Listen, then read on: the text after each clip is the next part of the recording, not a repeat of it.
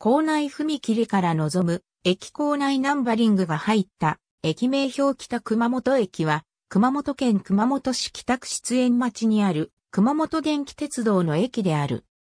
駅番号は KD08。熊本電鉄の運行上の拠点となっており、駅構内に鉄道本部が所在し、運転手は当駅で交代する。また、車両基地の入出庫の関係で当駅始発終着の列車が数本設定されている。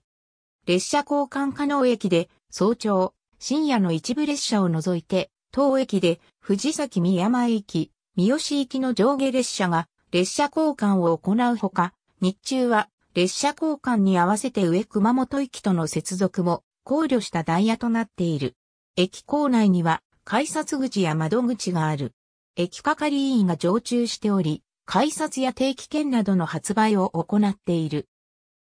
ただし、普通乗車券は発売していない。かつては、駅舎内に、同社関連会社である、熊本電鉄タクシーの本社と車庫が設置されていたが、2014年11月30日、限りで営業を終了した。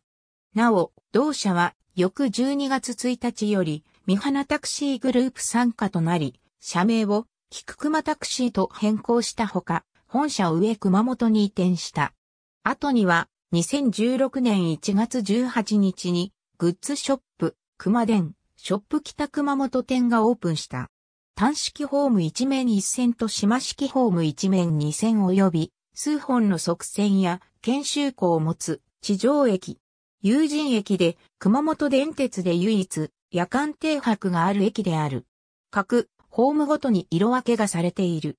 2015年4月より供用を開始した IC カード、乗車券、熊本地域振興 IC カードの読み取り機は入場用、出場用とも改札口に設置している。以下の路線はすべて熊本電気鉄道による運行である。ありがとうございます。